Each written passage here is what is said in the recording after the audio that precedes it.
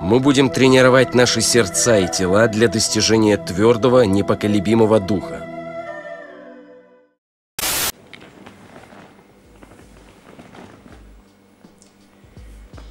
Вопрос 10. Ученики Мусута Цаямы расклеивали по городу брошюры для привлечения народа в свой зал.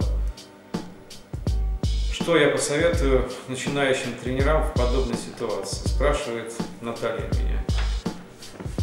Я думаю, что все зависит от того, в какой местности вы живете, в каком городе, какие у вас ученики и каковы вы сами. Но в любом случае действия учеников Масута Саем были совершенно правильными, и у меня ученики и ученицы также расклеивают по городу Москве объявления, также дают в интернете какие-то справки, и у нас есть свой сайт школы Кайман. Поэтому все, что возможно сделать для привлечения людей, нужно просто это делать. И стараться делать по-серьезному.